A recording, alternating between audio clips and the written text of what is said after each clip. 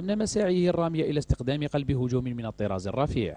اقترب ريال مدريد من ضم المهاجم الكولومبي راداميل فالكاو من موناكو الفرنسي.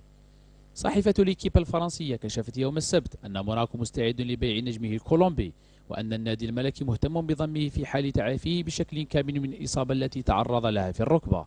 فالكاو يستعد لخوض أول مبارياته يوم السبت بالمشاركة في كأس الإمارات أمام فالنسيا وذلك بعد غياب دام ستة أشهر وأحد عشر يوما إثر إصابته بقطع في الرباط الصليبي للركبة اليسرى.